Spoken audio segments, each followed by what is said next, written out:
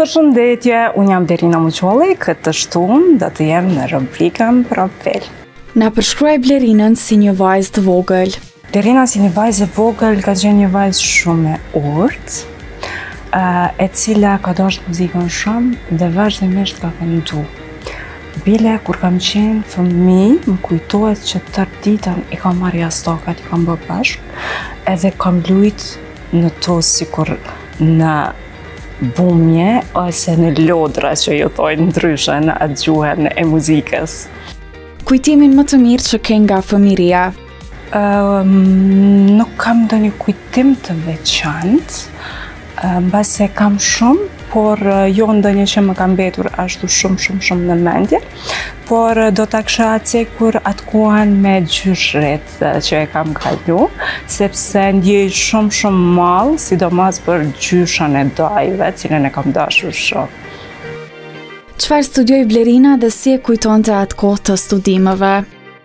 Unë kam studiu muzikën, kam qenë një vajzë shumë e gjallë, të them shumë tip i hareshëm, i gjallë edhe goxha lazdrane në atë aspektin si një studente. Po çdo herë e kanë marrë profesorat atë pjesë shumë pozitive, sepse kam qenë studente e mirë.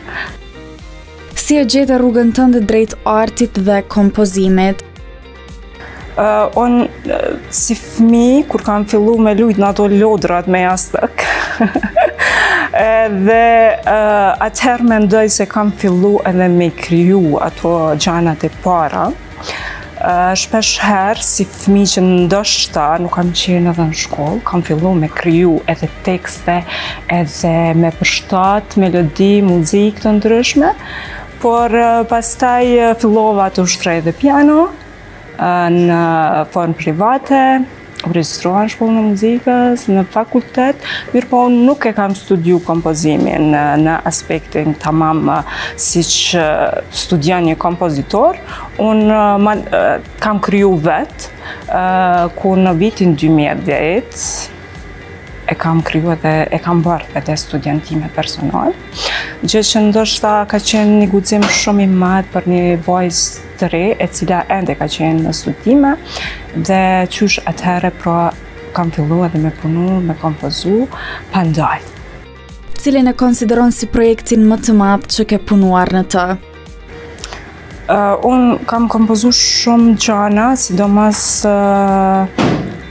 për fëmi, për shfaqje, mandej edhe për film, por kjo e fundit që ndodhi tani në New York që është duke u shfaqur, mendoj se ka qenë e papritur dhe ka qenë që thojnë qershia mbi tortë, sepse e ka rikthy atë vullnetin tim. për me vazhdu me kriju në këtë aspekt, sidomos kur është fjala për gjëra artistike. Çka përmban në vete Street 42 apo Rruga 42? Um, përmban një ngjarje uh, të dhemshme, të themi, për një vajzë që migron nga Kosova në Amerikë, por gjë që ju ndodhin ndoshta edhe migrantëve prej vendeve tjera dhe ballafaqimet me të cilat hasen, domethonë në një shtet të ri, në një vend si New Yorku, që nuk është vështirë me gjetë veten në aspektin e punës, por të themi ka shumë sfida, sepse askush nuk merat me ty. Ku gjeni inspirimin për të kompozuar Blerina? Varësisht nga situata, meqë deri tani kam kompozu në sfera të ndryshme, nëse ndihem mirë për një gjë, atëherë edhe krijoj, po edhe nëse ndihem keq, krijoj ndoshta diçka që është momentale, por unë çdo herë e zgjedhi atë që është më e mirë. Sepse më pëlqejnë gjërat pozitive. Talenti për artin muzikor i trashëguar apo jo? Talenti është i lindur, unë mendoj se secili njeri lind me një talent të veçantë, askush nuk mundet me ta mësu ty, as muzikën, as pikturën, as, as një gja, ti mundesh me shku me u shkollu për muzikë, të ta mësosh një planprogram t'caktu, por unë mendoj që shkollimi nuk të zhvillon atë shumë në kreativitet. Pastaj ti e zgjedh atë, e ke gjithmonë ato atë anën tënde që e krijon, e zhvillon, tu bazu në ato mësimet që i merr. A ke ndonjë artist për të cilin do doje të kompozoje? Në Kosovë, nëse e kemi fjallën ose jashtë, unë gjithmonë jam ma tepër nga ai aspekti klasik, jam shumë old school, më pëlqen muzika e vjetër. Ta zom qysh si në shkollë të mesme më ka pëlqy Elvis Presley shumë. Dhe jazz muzika, Etta Jones. Ndoshta është ajo periudhë që unë kisha dashtë me kompozu për ata artistë të mdhenj, sepse kanë mbetur edhe legjenda dhe janë të përzgjedhur për shije. Çfarë talenti tjetër posedon Blerina që ne nuk e dimë ende? Unë posedoj talent të themi të mësuarit të gjuhëve të huaja. Njoh katër gjuhë të huja, dhe vazhdimisht më pëlqen kur dëgjoj diçka e kap veshi im shumë lehtë. A mundesh me na fol diçka në një gjuhë të huaj? Cilën gjuhë po do me të folë. Unë zakonisht preferoj ma së shumti kështu që foli është ndoshta gjuha turke edhe në shpe, shpesh herë foli edhe me motrën na ka mbetë si fmi sepse edhe atë e kam mësu me të dëgjuar e za që në çok seviyorum Hobi që ke në jetën e përditshme? Unë preferoj me bo sport. Nuk di, nuk mundem me kuptu njerëz që nuk mirren me sport. Sidomos, kur e pyes dikon, a je tu shku n'fitness, a je tu vrapu, a je tu bo diçka. Edhe më thotë, jo valla, po pritoj,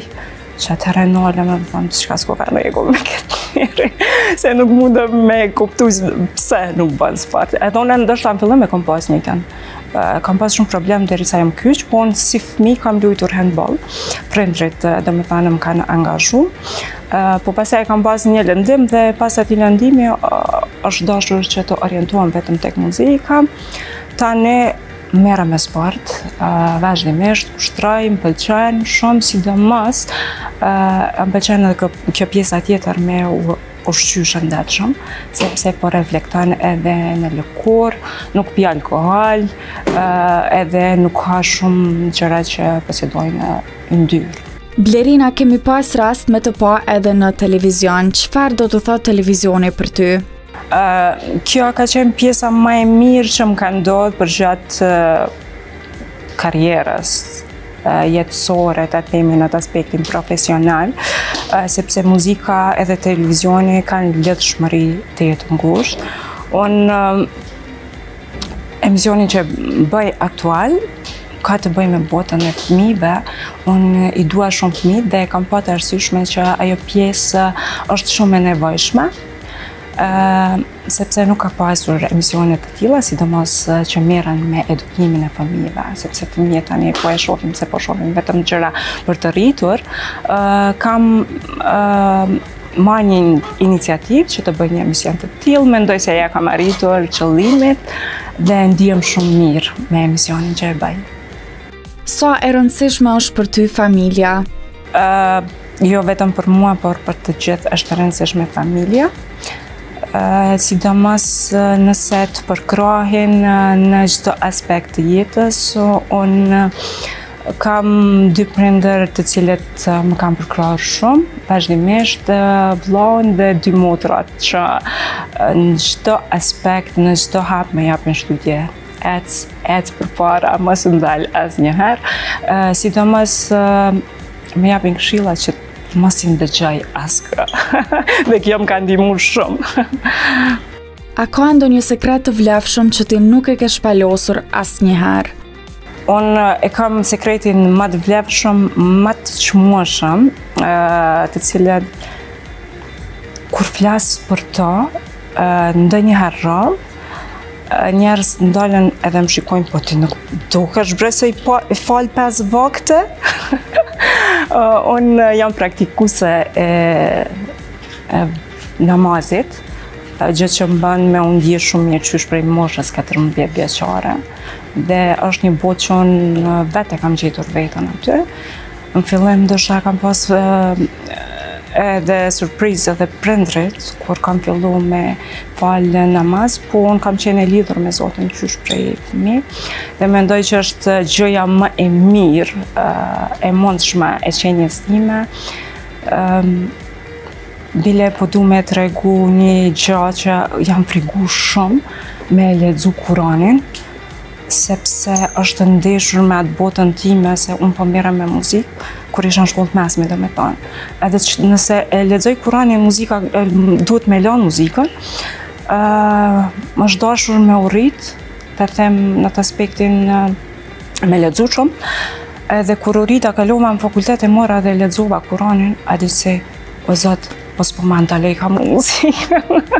Ajo ka qenë diçka që ndoshta jam frigu shumë dhe kur e kom marrë e kom lexu, e kom pa që nuk është ashtu, domethonë tash dhjetë herë e kam lexu Kuranin dhe vazhdoj ta lexoj vazhdimisht.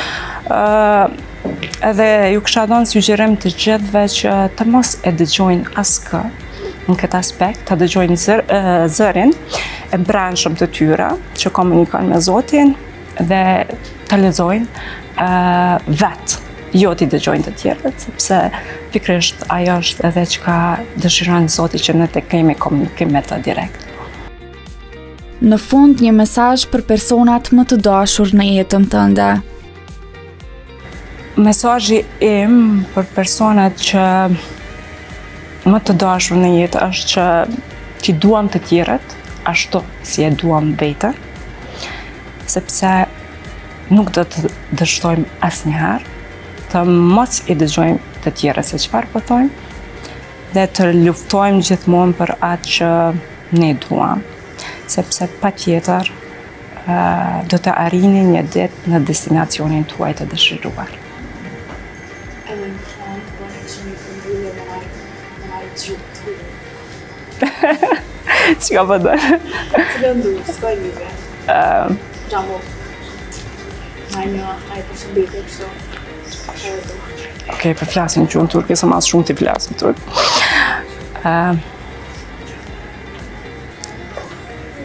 sayın seyirciler, eh, beni izlediğiniz için çok teşekkürler. Ee, güzel bir hafta ve bir yaz diliyorum sizlere.